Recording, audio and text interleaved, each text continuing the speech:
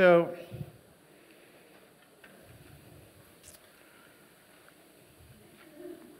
usually what I do is share material that I'm very, very comfortable with. So it may be new to you, but it's not new to me. Today, I'm going to do something different. A few months ago, this fall, um, where are we now? It's February, yes, it was fall. I was teaching at Chautauqua in.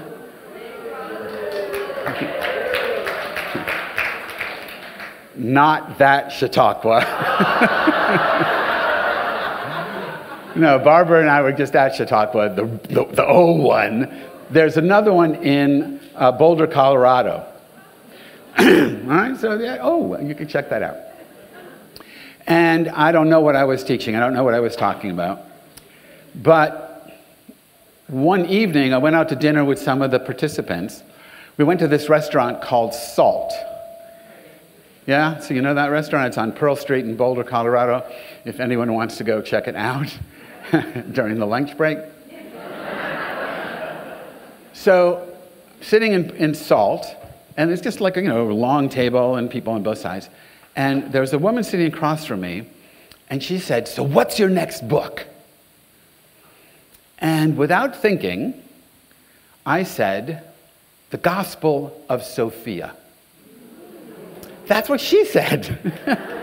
she said, Ooh, what is it? I didn't know. I had never heard that idea before. Which, when I got back to my room afterwards, turned out not to be the case. I actually heard it in a dream the, the night before. So it was in my subconscious. And someone said to me in my dream, the Gospel of Sophia. And then I forgot about it until dinner at Salt. And then it came out. So then I thought, I'm actually done writing books. My last book was called Surrendered. And the idea was, besides the topic of the book, was I am surrendered to writing. I am done with book writing. I have other things. I have podcasts, and I write for my magazine that I work for, but uh, spirituality and health. But um, done with books. And yet, I couldn't get this out of my head, but I still didn't know what it was. And then I started having these Okay, I'm going to call them experiences, but I'm not sure if that's exactly it. I started having these moments where texts with which I was familiar just started coming into my head. But they weren't coming in in any kind of ordered fashion. And it wasn't just like the title of the text, it was like verses of text, but different texts all in a jumbled order. Like you wrote them all out and then you threw them up in the air and they came down, you know, and you just said, oh, look, there's something there. So I started writing down what I was getting, and that turned into what I think at some point will be the Gospel of Sophia. So, what I want to do this morning is I'm going to read some of it to you. And if it sounds garbled, it's because it's just garbled. But I don't really think it is. I think there's a pattern to it. And I'm going to comment on it as we go along. So, these are ancient texts from a variety of traditions the book, if it ever comes into that form, will have footnotes. You can know where they are. I'm not going to burden you with all the notes.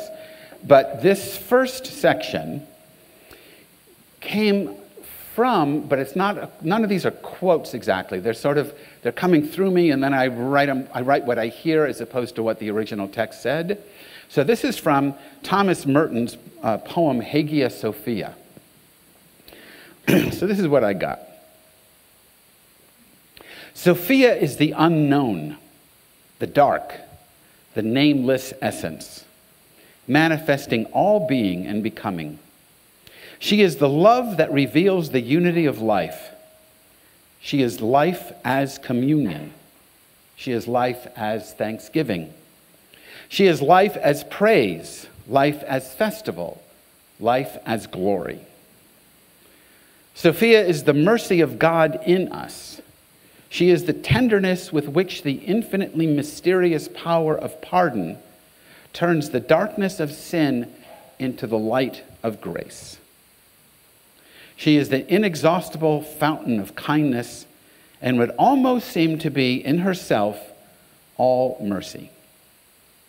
She does in us a greater work than that of creation the work of new being in grace, the work of pardon, the work of transformation from brightness to brightness. She crowns us not with what is glorious, but with what is greater than glory weakness, nothingness, and poverty. So, what are we talking about? No, who are we talking about? So, every tradition has its understanding of the Divine Mother. In the Jewish tradition, or the Judeo, you know, the Jewish Bible and the Christian Bible, the Hebrew Bible and the Greek Bible, you find in the book of Proverbs, chapter 8, verse 22, a very odd thing. Judaism and Christianity, Mariology aside, is overwhelmingly and oppressively patriarchal. Right? If you're sitting next to a man, hit him. No, don't do that. She's, She's almost in herself all mercy. So just slap him. But it's, I mean, these religions are overwhelmingly patriarchal. Islam is the same, and they're all the same. All these religions were made by men, and whatever predated them, which may have been from a matriarchy and with a, a mother goddess figure, they were crushed. And thankfully for Catholicism, not crushed entirely, so that you get all these you get all these goddesses in the forms of, of Mary or something. But in the Bible, on the surface, there's not a lot of feminine stuff going on. You know, you get, you get a God who, who can be loving or genocidally or homicidally, you know, mad. It all depends on whether he's on his meds or not. That's how I say, how do you know, you know, what's what? Because it's, it's. So I don't, I don't believe in God, right? I don't believe in God in the sense of a God out there somewhere. I don't believe there's a guy supernatural outside the natural uh, universe uh, who creates us, judges us, makes rules for us, chooses, you know, one people over the other. Go choose. It's not. I don't believe in that God. I don't believe in a God that chooses and, and some people doesn't choose other people. I don't believe in a God who saves some and damns others. I don't believe in a God who separates people by caste or by gender or anything else, or you know, and says these are the true believers and these are the infidels. I don't believe in that God. For me, God is what the Hebrew word for God says God is, because the Hebrew word in English, you know, YHVH, Yud He Vav He in Hebrew, translated in most Bibles as Lord, L O R D, but in most Bibles, many Bibles, capital L, capital O, capital R, capital D. So when you read it, you don't say Lord, you go Lord. if any of you are seminary, you've been through seminary, I mean, I went to, to, to seminary, went to reform school, and because it was in reform movement. We spent four years learning how to say Lord. because that was the most important thing to say. Because they knew that no one in the congregation understood Hebrew, so you had to say Lord. But if you didn't give it a lot of gravitas, no one was going to take that concept seriously. The saving grace is, for most liberal congregations, no one takes it seriously.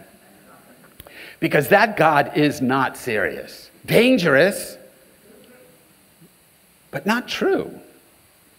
So the word that we translate as Lord is the Hebrew Yud He Vav He, YHVH. In German, when they would translate it, they don't have a Y, they used a G, and you end up with Jehovah.